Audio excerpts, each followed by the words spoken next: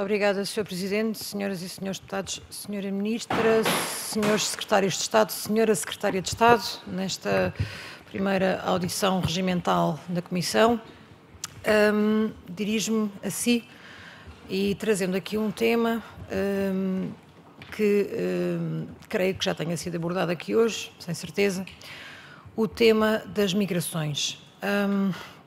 de facto, no passado dia 3 de junho, foi aprovado pelo atual Governo o Decreto-Lei 37A de 2024, que eh, tomou um conjunto de opções políticas em matéria de, um, um, de pedido de uh, autorização de residência por parte de população, uh, por parte de migrantes, por parte de população estrangeira, nomeadamente tendo uh, abolido a, a, possibilidade da demonstração de interesse uh, na aquisição dessa mesma autorização de residência, percorrido que estivesse um ano de trabalho uh, em Portugal.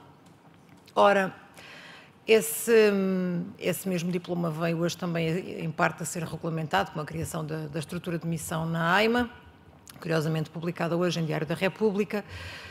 Um, de todo modo, um, não, não gostando, não, não vim eu aqui hoje para, obviamente, debater questões políticas, porque elas são opções e cada, cada partido, cada governo tem as suas. O que me preocupa, eh, e a questão que, que trago hoje aqui, é a seguinte. Ao abrigo deste regime da um, demonstração de interesse na uh, aquisição de residência, foi possível uh, publicar em 2022 o despacho 4 SS 2022, que permitia a obtenção do NIS, Número de Segurança Social, na, obra, na hora.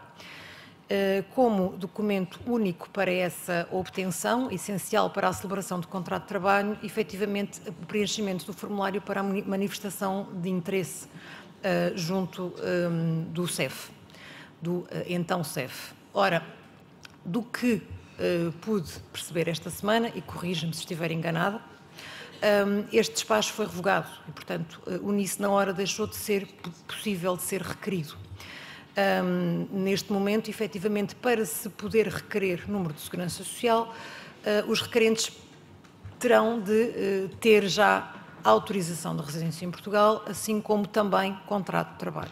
Para concluir. O que é que me preocupa, e só um segundo, Sr. Presidente, um, e essa é a questão que me traz aqui, perceber, face a esta impossibilidade de obter o NIS na hora, que não vai afetar apenas os requerentes e os adultos, mas também todas as suas famílias, os seus agregados e as suas crianças, de que forma é que estas crianças poderão, neste período, um, ser candidatas a prestações sociais e, nomeadamente, serem uh, objeto de apoio por parte da ação social escolar, uh, para a qual é fundamental, efetivamente, a detenção deste número de, de identificação da Segurança Social. Muito, Muito obrigada. Muito obrigado,